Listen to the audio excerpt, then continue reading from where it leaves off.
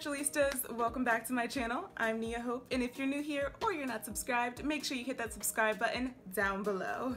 So about a month ago, I shaved off all of my hair and I decided to go on a growth journey. Of course, I decided to document my journey and I decided to label it my Grow With Me journey. For at least a year, I'm definitely going to be growing out my hair and taking you along on the journey with me. But this is my one month update and guys, my hair is just growing and flourishing and I couldn't be more excited about it.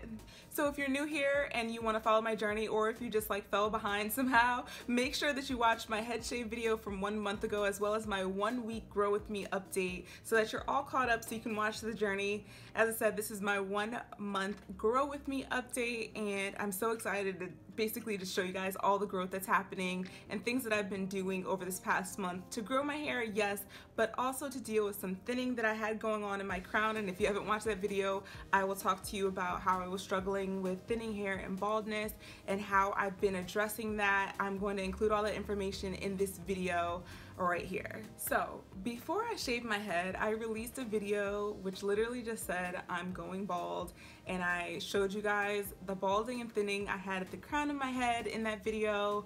Um, and also really made it clear that I prefer natural remedies over anything else. Like natural remedies are awesome. I feel like a lot of the times they're more effective. So many of you commented on that video saying that you've been through similar things or that you're currently going through similar things and I was literally just so overwhelmed by the outpouring of love in my comments on that video. Like a lot of you guys were like go see a doctor right now.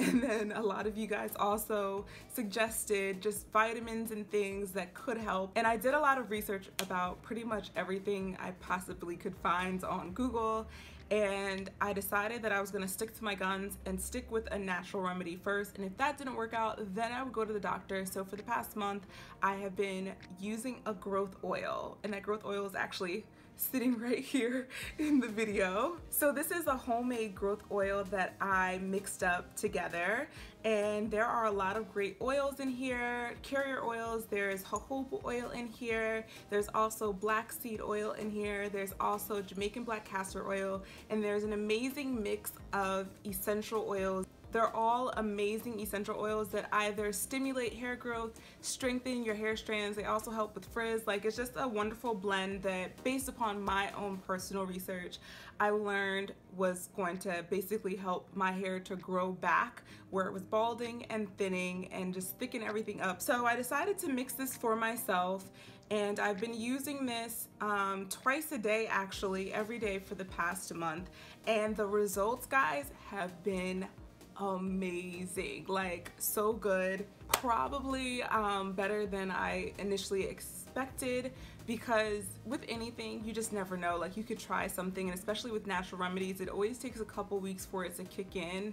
And I'm like I could technically use this for four weeks religiously and see nothing at all but you know I've used it for the past month and saw results within the first three weeks which was amazing so some of the essential oils I have in there are things like rosemary essential oil peppermint essential oil there's some clary sage essential oil there's atlas cedarwood essential oil and I perfectly measured out exactly how much I wanted of each oil, whether it be the carrier oil or the essential oil, so that I could basically have the most potent blend possible, um, potent and effective blend possible. So aside from seeing major growth and amazing results in terms of the thinning and balding that I had at the crown of my head.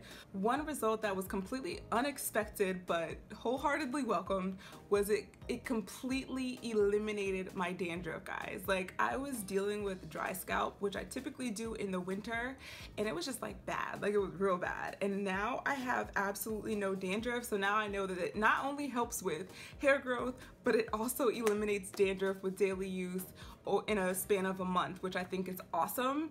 And of course, like as I said, it's a natural remedy. I'm always here for natural remedies. And to know that like, you know, within the span of a month, this completely eliminated all my dry scalp issues, like is a huge blessing.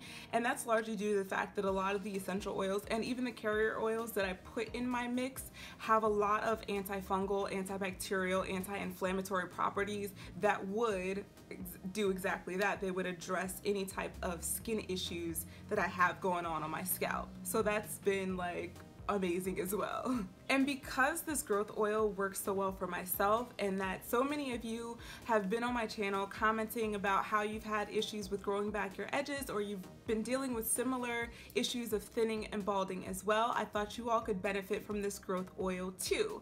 So I've decided to put this up for sale on my brand new Etsy shop. I have it on there as a hair growth and dry scalp serum that I'm putting on sale. Right now I'm doing a soft opening. So it's on sale 25% off during the whole entire month of January. Now it is a soft opening and it's just for me to gauge what the demand will look like because it is going to be me making it. It's going to be in small batches. And so I just basically want to be able to see how many people are interested in the first place so that I can plan my months ahead according to how many people purchase right now during this soft opening. So if you're interested in buying this growth oil and trying it for yourself, definitely, definitely go to my Etsy shop. I am branded as Nia Hope and Company where I will be selling this growth oil. And guys, I'm so excited. I've always wanted to sell just like handcrafted items on Etsy, whether it be paintings or things like beauty products, and I'm finally doing it this year 2018 is like a huge year for me of like doing all those things that I said I was gonna do and then just kept systematically putting it off. So definitely support small business, support black business, support my business. And if this is a product that you'd be interested in having, whether it be to just maintain a healthy scalp or to thicken up your hair, whatever the situation may be, make sure you buy it. The link again will be in my description box. I also made an Instagram page for Nia Hope and Company. It's just at Nia Hope Co. And you could follow that for updates and also for future products that I'll be putting out this year. One important piece of information is that during the soft opening, I'm basically gathering all of the information, all those analytics that I will need to use for my business going forward. So anything purchased on sale now, 25% off, will not be shipped until February 1st. So basically right now you could buy it at the reduced price, but don't expect it to be shipped until February 1st. After that date, it will go back to regular pricing and then also regular shipping. So just keep that in mind as well.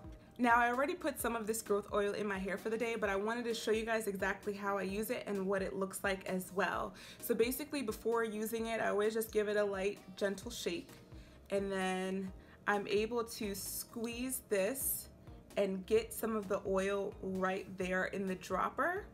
And then I literally just apply it exactly to the point on my scalp where I was dealing with the, um, oh my gosh, I just put too much in. I already have some of this oil on my hair. But anyway, I literally just drop it on that space and I massage it for at least like two, three minutes into that spot. And then whatever I have extra still, I kind of just like blend it into the front of my hair, which is just naturally thinner and could use some thickening. So um, that's where I blend it in. And I also blend the last bit of residue into the back of my head and on the edges around the nape of my neck as well. So since I am officially at one month, I feel like this is a good time to really, really dig into setting a hair care regimen for myself. Now, I recently put out three videos about hair porosity. One was just about different types of hair porosity. I talked about low porosity, normal porosity, and high porosity. And then I put out two videos detailing in one, the top five DIY treatments for low porosity hair. And then I also put out another video detailing the top five DIY treatments for high porosity hair. Now, the last time I actually did a hair porosity test was like a long, long time ago.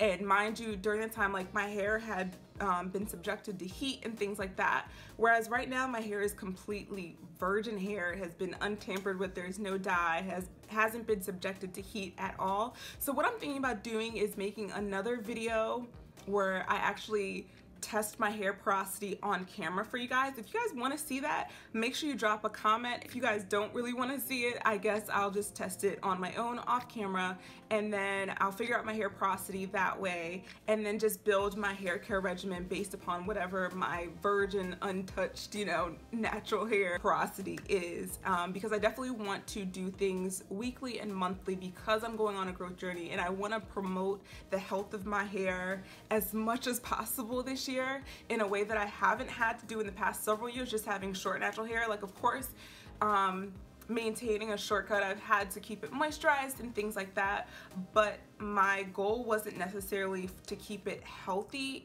in the sense that like I knew that basically every month I was just gonna cut it off anyway so there wasn't that much of an emphasis on maintaining my hair health whereas on this growth journey there will be an emphasis on maintaining my hair health so I definitely want to do things that will benefit me and my hair porosity. I'm also excited because I think by the time I hit two months my hair will be long enough for me to start styling. I might even sort of kind of be able to do it now. I'm going to test some things out first but I definitely know by two months I should have enough length where I'll be able to start doing styling videos again and especially for those of you who are growing your hair out as well and just did a I've gotten a lot of comments like I just shaved my hair in November or December so you're basically on this growth journey with me so I can basically show you how to have fun while you're growing your hair out and while it's still super super short so I'm excited for that as well so that will be coming up so make sure you like stay tuned and keep watching my channel so you see those videos as well.